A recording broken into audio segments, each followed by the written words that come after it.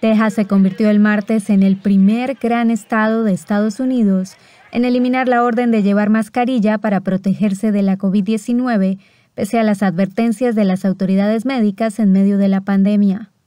Así lo anunció en una rueda de prensa el gobernador Greg Abbott, quien indicó además que a partir del próximo 10 de marzo, todos los establecimientos podrán abrir sin ningún tipo de restricción. Abbott justificó en Twitter su decisión por el buen ritmo de vacunación y señaló que la próxima semana se habrán administrado más de 7 millones de vacunas en el estado. No obstante, el gobernador pidió a los 30 millones de habitantes de Texas, el segundo estado más poblado de Estados Unidos, mantener la responsabilidad personal y seguir las indicaciones médicas.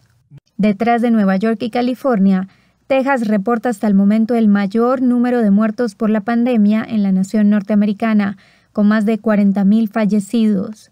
Posteriormente a la medida se sumó el gobernador de Mississippi, Tate Reeves, quien anunció en Twitter que desde el miércoles 3 se levantará la orden de llevar mascarilla y las empresas podrán operar con capacidad completa. Otros 12 estados de los 50 del país no cuentan con un mandato obligatorio de uso de la mascarilla, entre ellos Arizona y Florida.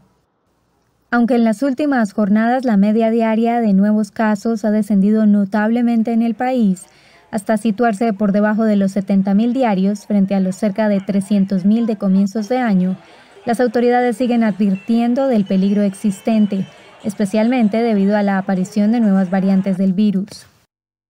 Estados Unidos, el país más golpeado del mundo por la pandemia, supera ya los 28,5 millones de casos y los 515.000 fallecidos, según el último recuento independiente de la Universidad Johns Hopkins.